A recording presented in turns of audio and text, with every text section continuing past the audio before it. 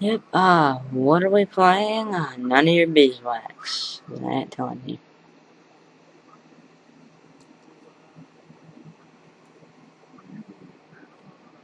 Oh, what does that say? Jumper? Uh-oh. I already like this game. Alright.